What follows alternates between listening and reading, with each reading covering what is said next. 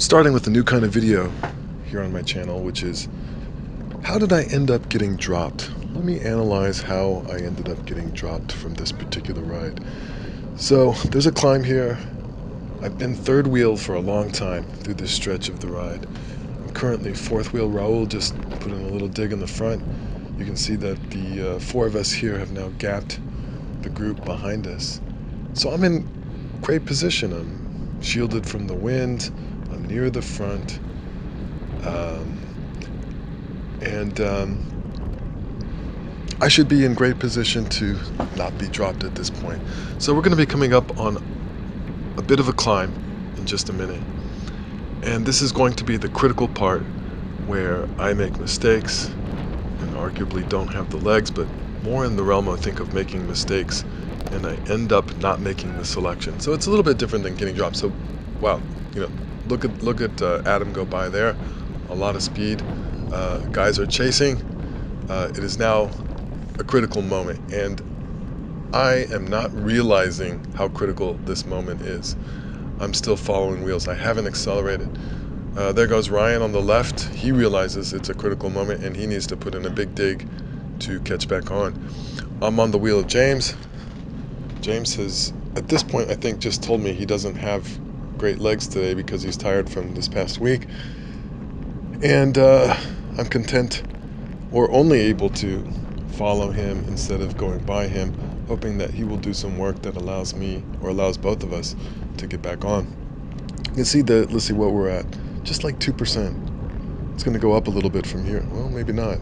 Uh, I wonder if I have this synced exactly correctly. It doesn't look like it. It doesn't look like I have the power stuff the bottom synced exactly right, but um, maybe it is. Anyway, uh, yeah, it doesn't look like, yeah, look, you look there at 7%, and it's not 7% right here, so I, I think I have it off by a couple seconds or something. Anyway, big gap right now, and uh, those are my three teammates in front of me. Raul, the guy who had made the initial attack at the beginning of the video or gone to the front. We're the only two left that are chasing these guys, and there's guys ahead of them, ahead of the three guys in front of us. And look how close they are. They're close.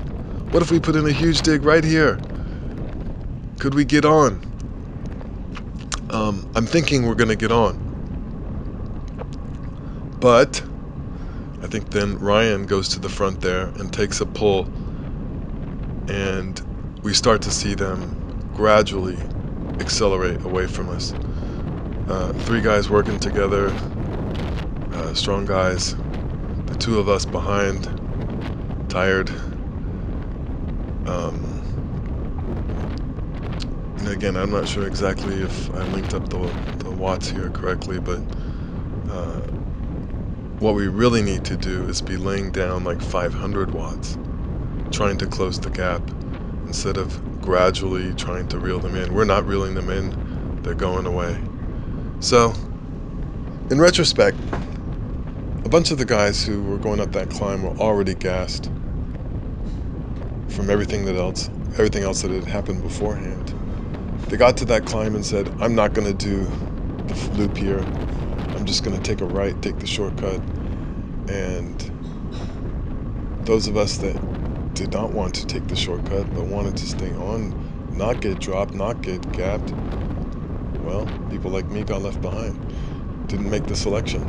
Um, so when I say I got dropped, almost everybody got dropped. I think everyone but like seven people got dropped. So it wasn't the worst thing in the world or the most shameful. Getting dropped is not shameful. Uh, learning from mental mistakes is useful. Like, I think in this case, if I had been in the right position, I would not have been dropped, at least from uh, the group of three in front.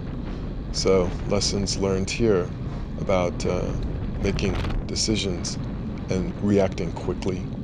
Uh, when you see things go, you have to react quickly, or else it's not going to work. So, today was a weird day as far as the wind. I didn't talk about the wind. The wind it's like an east wind coming from, sorry, coming from the west.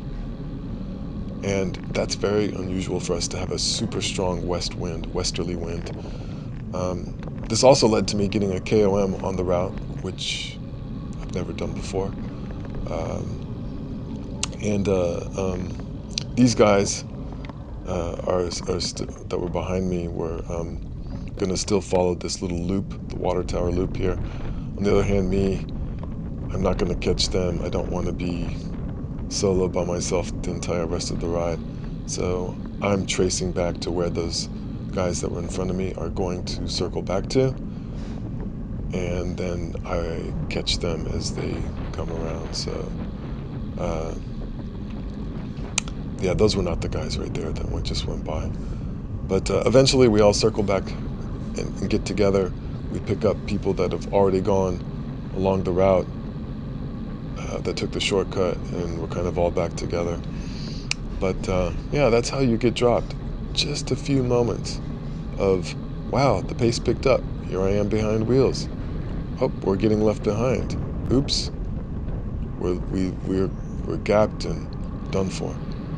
So, lessons learned. Uh, apparently, I have to learn the lesson over and over and over again. Uh, again, I don't feel like I have the, maybe the strongest legs in the world. Sometimes guys are just faster.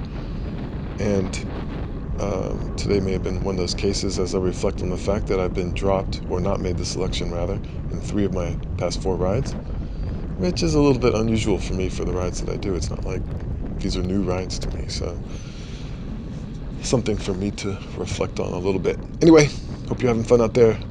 Keep riding. Be strong. Be mentally strong. Later.